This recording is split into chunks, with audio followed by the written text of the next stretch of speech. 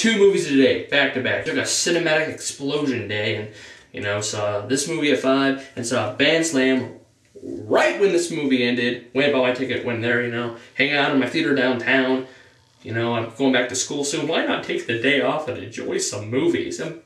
Okay, so the point is, go and watch the Bandslam review after you watch this one. You know the drill. But Ponyo, Ponyo! Miyazaki, is that his name? Miyazaki. You know, Spirited Away is an awesome movie. I think he directed Kiki's Delivery Service too. I loved that movie as a kid. I haven't seen it forever, but I loved that movie. There were times in this movie where I'm saying to myself, wow, this is my new favorite movie of the year.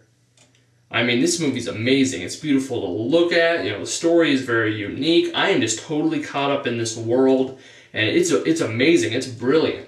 And then about like the last 20 minutes was kind of like weren't very good. They weren't bad, but they definitely didn't do the rest of the film justice, and it brought the movie down. There really isn't much of a payoff in the end, and the conclusion is just kind of simple and doesn't really have much depth to it. In the end, you just gotta go, okay, you know, this movie's just caught up in this world that the director has created, and you know, that's the reason. It really doesn't give any other reason why. You know, there's this man that lives underwater creating these fish with faces. You know, it doesn't really have any reason why. You know, it's a fantasy movie. And I guess that's it. There's no other explanation given at all. Which I guess is fine. That's not that big of a deal. You know, it's just frustrating because some of this movie is so good. I mean, so good. This movie is very perfectly paced, and I was just loving it so much. But, you know, it, then it just kind of weakened, and it, there just wasn't really much to it.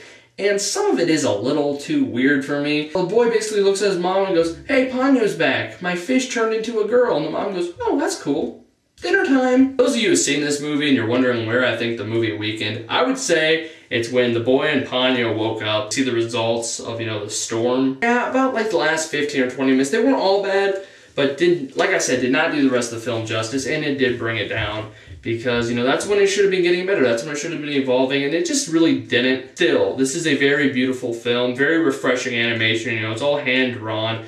I loved it. You know, some people are going to go, the animation sucks. But that's because now they live in this world of closure from anything different because all we see is now these um, computer animated movies in 3D when I would rather look at this animation. It makes it far more interesting because even if there isn't much of a story going on in the scene, I'm still just totally captivated by this animation. Storytelling is very slow, but I loved it. I loved about every moment of this movie until, like I said, when it starts weakening. It sucks that it grew average, and it really does because this easily could have been a 10 out of 10 easily. But I'm gonna have to give it an eight and a half. Still think you should give it a chance. I do think there's gonna be a split. I think some people aren't gonna like it because it is different. The storytelling is very unconventional. It definitely takes its time, although it's not a very long movie. And you know, at the very end, on the ending credits, there's a song that was like Ponyo, Ponyo, Ponyo. Felt like I was five years old, but still, I think it's a really good movie, and you should check it out. Eight and a half